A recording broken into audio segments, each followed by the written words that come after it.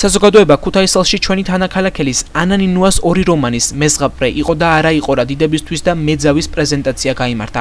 ანანინუა სპეციალობით პედაგოგია. იგი წლების მანძილზე ქართული ენისა და ლიტერატურის პედაგოგად მუშაობდა. შეხვედრა საზოგადოება ქუთაისელის წევრები დაესწრნენ. შემიძლია დაბეჭდებით გითხრას რომ არის ჩემი აღმოჩენა. მე გადაუჭარბებლად ვიტყვი რომ ეს არის თანამედროვეობის დიდი მწერალი, თვალსაჩინო მწერალი. სხვადასხვის სულ ორი ციგნი გამოვიდა. ქალბატონ ანასი მაგრამ შეიძლება დაბეჭდებით. ითქვას რომ ის არის ჩამოყალიბებული მწერალი თავისი სტილით. აზროვნების კულტურით წერის კულტურით და ასე შემდეგ.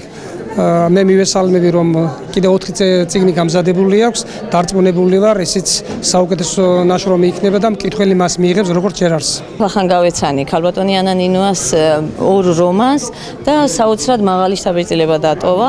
ქუთაისელი მკითხველისთვის უცნობია და ქუთაისის კულტურის სამსახურმა გადაწყვიტა რომ ამ ადამიანს მოუწყოს შეხვედრა და მისი ერთ-ერთი წიგნის მეზღაპრე ანუ ზღაპრე იყო და არა იყო რა დიდებისათვის.